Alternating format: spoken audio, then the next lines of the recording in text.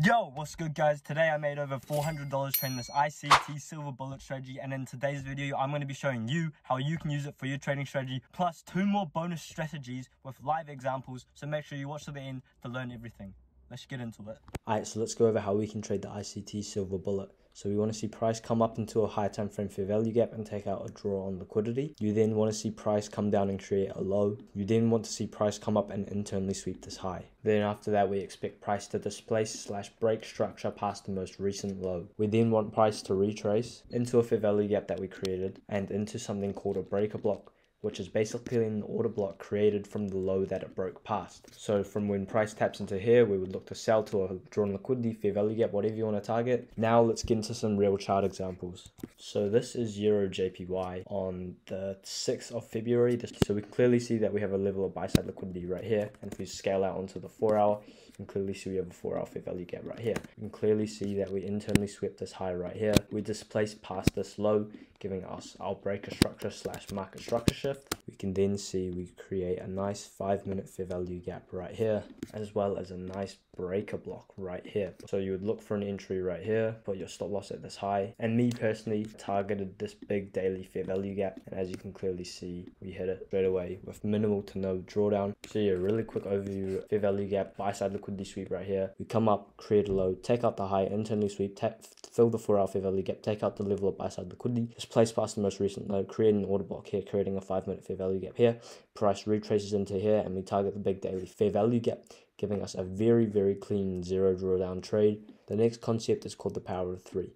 This concept has three sessions. The first session is known as the accumulation slash consolidation phase. This is when price isn't really trending, it's just like consolidating. Then in the second session, you want to see something that looks like a liquidity sweep, which is known as manipulation. So you want to see price take out a level of sell side liquidity or a high time frame fair value gap, as well as manipulation could also be from the most recent low of accumulation. Then in distribution, you expect price to distribute in the opposite direction that are manipulated, looking to target the buy side liquidity highs of accumulation, possibly targeting high time frame fair value gaps or higher draws of buy side liquidity. So that's how you use the power of three setup. Now let's look at it with examples in the charts. In the chart.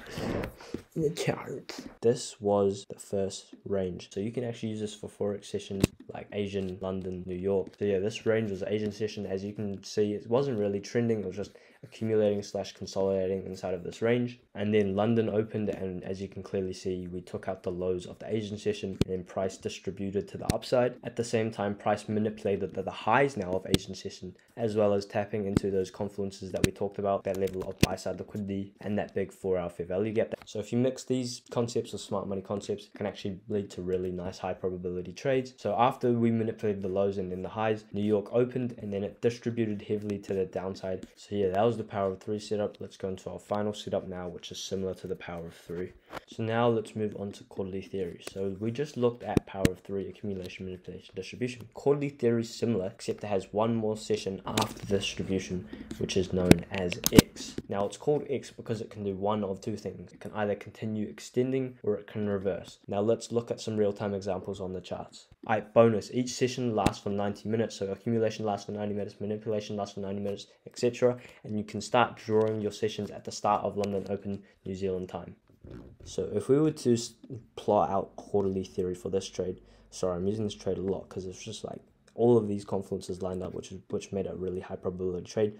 But let's just plot out our sessions for quarterly theory.